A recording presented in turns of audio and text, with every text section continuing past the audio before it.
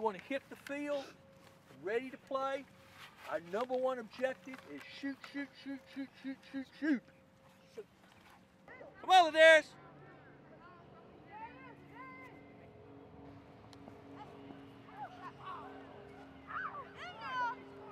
Somebody ought to be in the X position. I don't see no X man. Where's my X guy?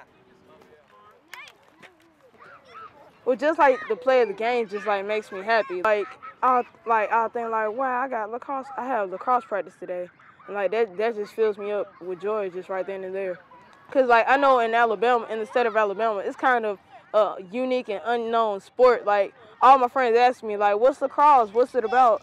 And also it's it's like it, it's a kind of a combination of uh, a variety of sports, like the positions and the gameplay. It it kind of relates to basketball, football, other just like a variety of sports. It can get pretty hard out there.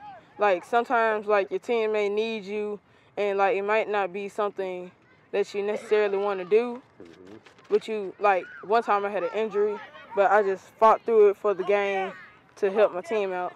I've actually talked to my dad about like kind of like even though education comes first, like I kind of also wanted to build like my high school and college choices around um, lacrosse and basketball and chess.